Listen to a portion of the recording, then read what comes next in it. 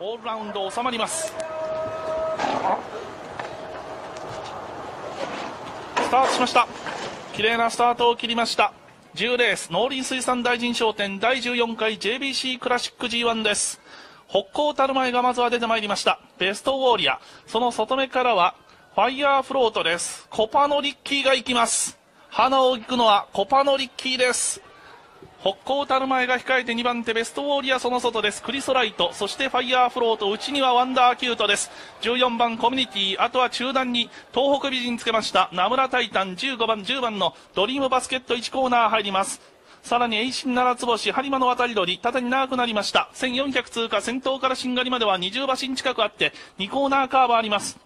先手を取った15番コパノリッキーリード1馬身、2番手9番ベストウォーリア、ホッコータルマエクリソライト、1200を通過固まって向こう上面かかります。ワンダーキュートが現在5番手、13番ファイヤーフロート、あと開いてコミュニティ、さらに開いて、トウホクビジン向正面です。ナムラタイタン。大きく間が来ました。後方勢、10番ドリームバスケット、さらには2番エイシンナナツボシ、ハリマノワタリドリ残り1000メーターを通過。さらに風の子がこのポジション、後ろにいます。内々を進んでは5番のリワードレブロン、あと2馬身差、オールラウンド、1番のスーブルソーです。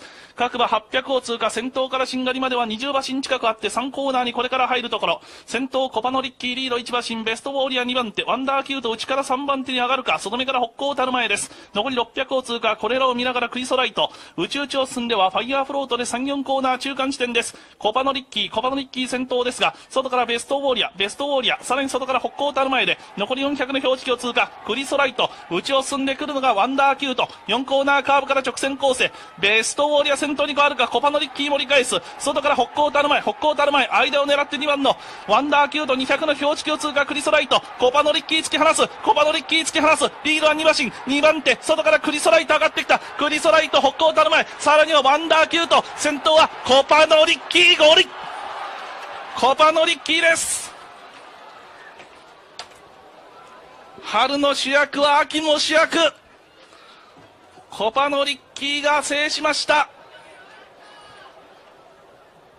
第10レース農林水産大臣商店第14回 JBC クラシック G1 ダート 2000m16 頭。15番のコパノリッキーが勝ちました。